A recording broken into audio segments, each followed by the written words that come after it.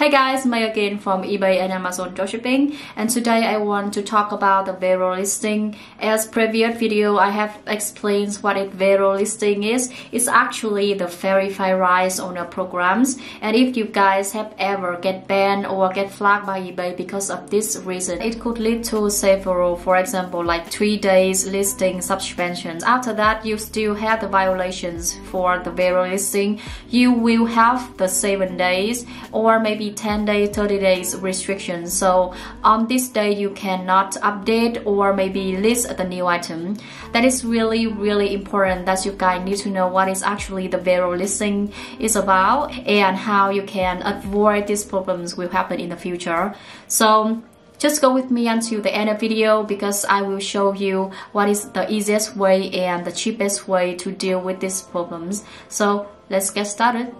So we need to know is what is actually the verified rights owner programs. Is owner programs allow the owners of intellectual property rights and their authorized representatives to report eBay listing that may infringe on the right.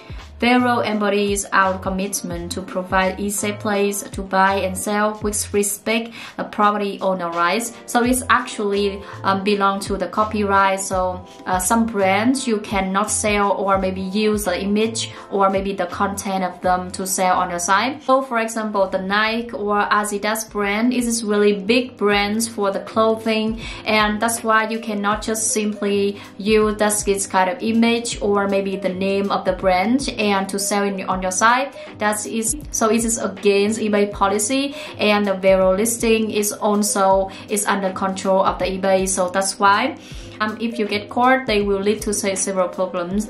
For example, the SEO rank will be lower or maybe in the search result it also doesn't show up that much. Uh, maybe it's just not good news for everybody of us that maybe you're a dropshipper or maybe you just are the reseller or maybe you're just a normal seller on the eBay platform. So for example, in the trademark infringement, the trademark is unique sign such as from a name, the word phrase, logo, and symbol. That's the company use to identify its products or services.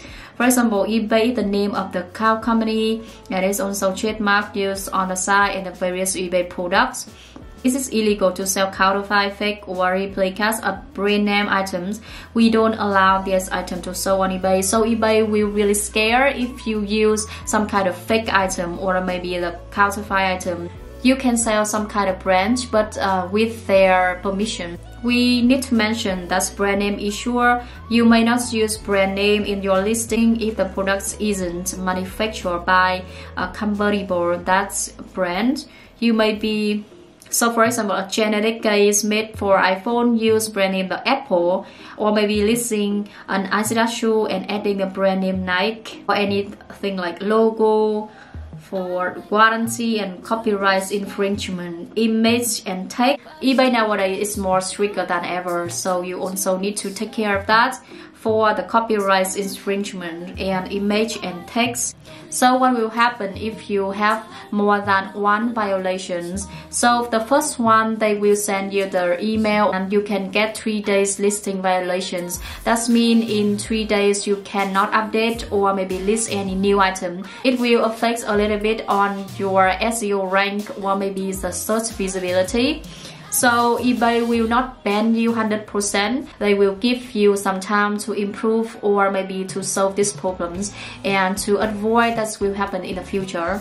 And what will happen if you have more than one violation? They said seller who continue to violate intellectual property rights may be subject to a range of the consequences from the selling restrictions to full suspension from the site. So from the eBay, the eBay will ban you for 7 days straight or maybe 10 days or maybe 30 days and your account is under the risk from 7 days, maybe 10 days or maybe 30 days violations. It's up to how big your problem problem is and how can I prevent this will happen to my account and what is the easiest way to do it. I will put the Vero participants profiles and I want to see all the listing that's contained in the Vero listing and I want to see Vero listing. So first of all, you need to open the public eBay video list. The link I will leave in the description and you guys can check for yourself. It is actually the list that eBay will mention that's which brands you cannot use to sell on your site. Moving on to the second step, you need to copy the brand names, which kind of brand names you want to sell on your eBay and just copy it and use a files feature. That is actually really easy on your keyboard. I'm using Mac right now so you can press the command and F together and the files feature will appear on your computer. From there, you can paste the brand name that you want to looking for. If they appear on the list, so it means you cannot sell this item. And if it does not show up, this means you can easily sell it on your eBay account and I want to see what is brand name on the list from eBay. So you just click on the Vero participants profile from A to Z.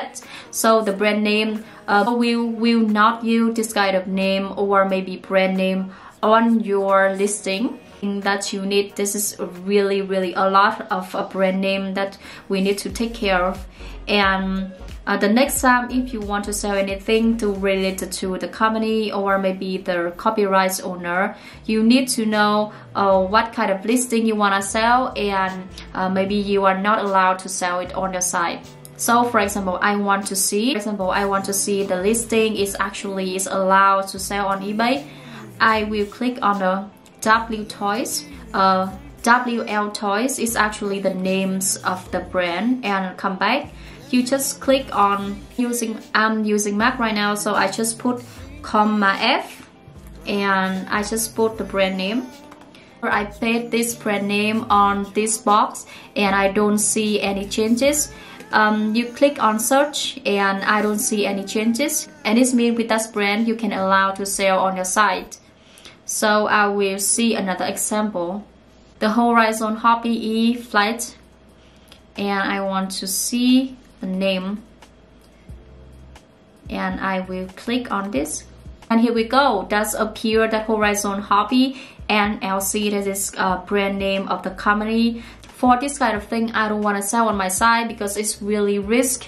Um, you can see the person don't get any sale until yet and they just have 14 watcher um, it's actually a, lot of people still interested in that kind of products but because it's brand name and it's belong to the Vero listing so I definitely not recommend you guys to list this item in your site so that is the cheapest way to do. Not every single seller as dropshipper they want to list item manually and some of them they want to list as much as possible. So that's why they want to list the item in bulk but do not list item in bulk if you are not sure about if your listing gets viral or not because it's really dangerous. It's just not one item, two item but it's a ton of items. That's why you need to take every listing that has potential to get violations to avoid the suspension. You can apply my first methods and I explain that you can do it manually. And the second one, you can use automation success like Zik Analytics. Is It is awesome tools and I have many times mentioned in my video. And I also the Vero Checker. So I also uh, give you some details now. And moving on to the second tip, I want to show you if Vero Checker. It's actually cost 1 euro 49 euro per month. It's nearly 1.99 dollar. And you can download the Vero Checker into your Chrome extension. So every time if you want to check anything and they will appear in the Chrome extension and you just click on it and put the name of the branch and they will check it for you if it's actually have the violations or maybe you need to remove remove it from your list. So it's also really useful, but as I said, it costs money. But for me, it's more easier when you can check manually. So for some person, he will have a lot of listings. So that's why this is really hard to check manually. So sometimes you can use AutoDS or maybe you can use Zik Analytics to find the Vero listing is also fine. For our automations I also recommend that you guys can check it out for your own because it's also cost money. And for automation it will save your time and maybe you don't need to worry about